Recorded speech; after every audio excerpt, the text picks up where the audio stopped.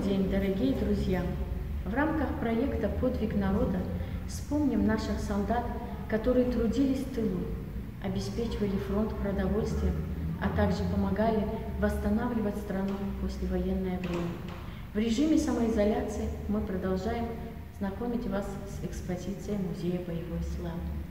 Сегодня я вам расскажу о вкладе в победу дербенских тружеников тыла. Победа советского народа была бы невозможна без прочного и надежного тыла. Ведь тыл – это еще один фронт, который жил своей идеей «все для фронта, все для победы».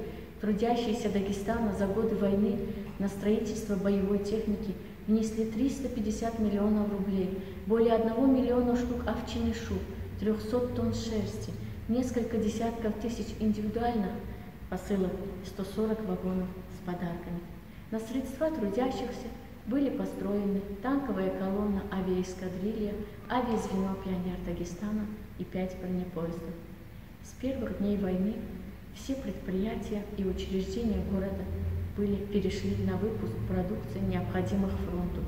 Стекольный завод «Дагестанские огни» стал изготавливать бутылки с горючей смесью, походные фляги, ампулы для лекарств, банки для хранения консервированной крови. Дербенский консервный комбинат стал изготавливать 12-15 миллионов мясных, рыбных, овощных, фруктовых консервов. Консервщики освоили производство душава, тутового меда. На консервном комбинате в ноябре 1941 года в помещении ореходробильного цеха был размещен эвакуированный из города Ростова завод «Красный металлист», производящий корпуса для ручной гранаты РГД-33. Шерстопредельная фабрика «Дагюн» вырабатывала буксу для паровозов, шерстяные подшлемники. Целые цеха оставались после смены, чтобы выработать сверхплановую продукцию.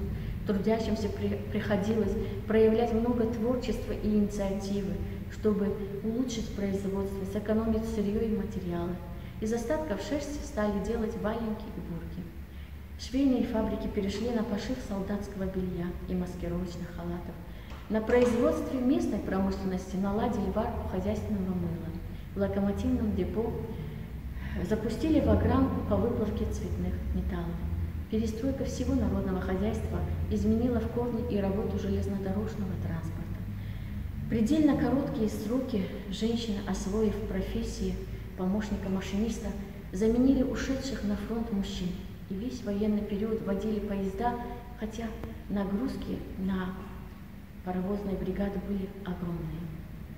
Находившийся в начале войны в глубоком тылу, город спешно готовился к приему и размещению раненых солдат с фронта.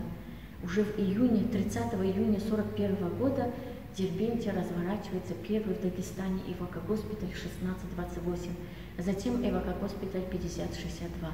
Лучшие помещения города были отданы для восстановления здоровья раненых солдат потребовался самоотверженный вклад органов здравоохранения и медперсонала, чтобы в кратчайшие сроки наладить стабильное функционирование госпиталей.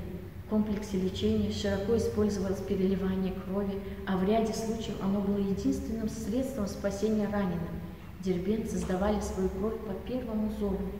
Хочется отметить, немаловажный вклад скромных тружеников, учителей. Они растили молодое поколение в духе патриотизма. Они помогали медработникам после занятий, собирали посуду, постельное белье у жителей города. В госпиталях писали письма неходячим бойцам домой.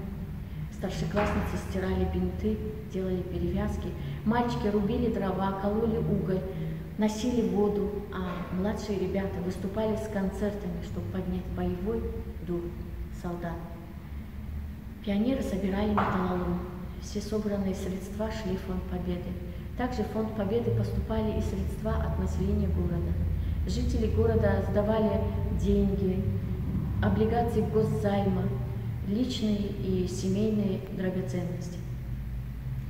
Середине 1942 года рвущаяся к бакинской нефти фашистская орда достигла берегов Волги, Дона, Терека, 15 сентября 1942 года Дербент объявляется прифронтовой зоной. Начинаются большие работы по превращению города в мощный оборонительный плацдарм. На строительстве многополосной линии Грозный-Махачкала-Дербент работало около 68 тысяч человек. Сооружалось 8 оборонительных рубежей, состоящих из противотанковых рвов, противопехотных препятствий, ходов сообщений, блиндажей для остановки наступлений немецких войск. Рабочий день был установлен 16 часов. Норма 3,5 кубических метра вынутого грунта. Работы производились вручную, киркой, ломом, лопатой. Даже люди пожилого возраста выходили и работали наравне с молодыми. Молодежь также помогала старшим в уборке урожая винограда, овощей, сборе лекарственных растений. 56 тонн шиповника было собрано для восстановления здоровья раненых солдат. Хочется отметить, с теплотой и заботой отнеслись дербенцы и к эвакуированным людям, чьи дома были разрушены фашистами. Они делились кровом, куском хлеба, продовольствием с этими людьми. И все приближали День Победы как могли, и работники культуры внесли свой вклад. Актерские бригады выезжали по госпиталям с концертами. Также выезжали на фронт с концертами, например, как Клавдия Шульженко, Марк Бернис и многие другие. В работу по военно-патриотическому воспитанию э, населения включались театральные коллективы. В работу по созданию военно-агитационных плакатов и картин включались художники Дагестана. Героика фронта и тыла отображалась в произведениях поэтов и писателей. Кино являлось убедительным средством агитации и пропаганды. Важную роль в мобилизации трудящихся на самоотверженный труд сыграло радио. Смертельная схватка с врагом не парализовала культурную жизнь республики.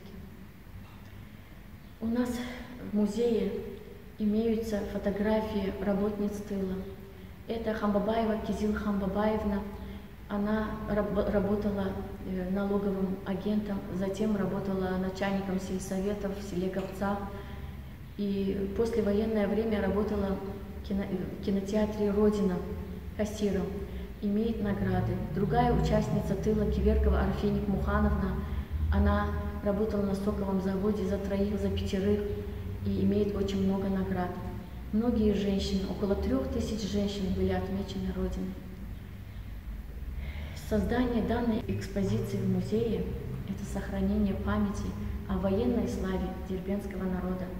Молодежь должна гордиться историческим прошлым нашего народа, я приглашаю в музей боевой славы, чтобы лучше познакомиться с экспозицией музея, подробно познакомиться с ней. И, ибо наш долг помнить о наших героях и их нелегких судьбах.